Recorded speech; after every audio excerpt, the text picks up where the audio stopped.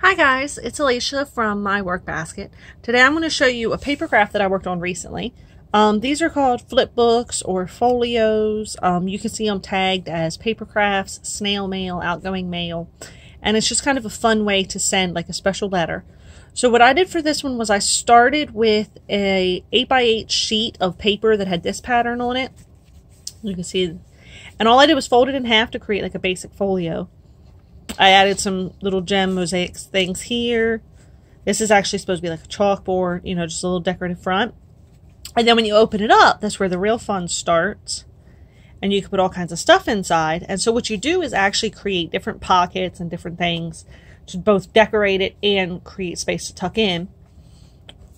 So you can see this little flap opens up to reveal more on the inside. And so what I did for mine, I actually am just kind of getting back into paper crafts again. And so I was like, you know, can can I do this well enough to make it worth swapping with someone or sending? And so I made made mine, left this piece kind of blank inside. I could put a note or, you know, put like a, another little envelope to hold things. But I just kind of kept going and going and going and adding until I felt like it was full. So this little pocket envelope, I put some stickers in here some glittery stickers that kind of match the work. I put one of these pieces. So they, whoever I mail this to would get to keep these things.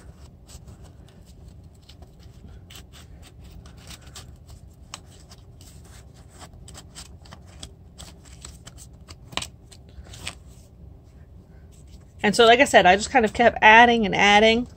So this is actually, this pink pocket is an envelope. Um, little, little side note and secret here is that I actually, I used my Fiskars, the box maker, to make this envelope and this envelope. And I kind of forgot how to do it. I ended up having to go back and watch my own tutorial video. And so you can kind of just see a little piece. This envelope actually has too many lines. And so I just kind of did my best to cover it up. But so this envelope then comes open and there's another thing inside and I did these tags. These tags are also a chalkboard. So I labeled one with a little um, rub-on, but I left the rest empty for whoever I mail this to. And so you can see it's just kind of like, it just kind of keeps going. There's all these flaps. It's very interactive. And so I just kind of wanted to show that off. I mean, like, you know, if you've seen these, if you want to try it, just go for it. I spent a kind of a lazy Sunday um, I think it was last weekend. And I just sat down with my bag of papercraft stuff. And like I said, I just kept adding to it. And, you know, I was like, oh, here's an empty spot. Let's add an envelope. Oh, here's an empty spot. Let's make a paper. And so all this was, this was actually, this piece of paper is from a mat stack. Um, and so I just folded one piece out of a mat stack in half and decorated the front. You know, this is just, I sent this through my embossing machine and tore the edges and taped it on. So you can just kind of keep going and going and adding until you're kind of done. And so you can see I took this same kind of gray colored, this same stamp with gray and just added it kind of throughout. And a lot of these are pre-cut out out of embellishment packs. Um, this one was an embossing, came from one of the same sets as these things, I think, or a similar set. so I sent that through my embossing machine and cut it out. This came in a paper pack this was actually from the, this and this were both from the Tonic Studios. Um, it's like a magazine with stamps and everything that I had ordered on scrapbooking.com. So that's where that one came from. This was just a paper stack. Um, these were both from the same embellishment pack.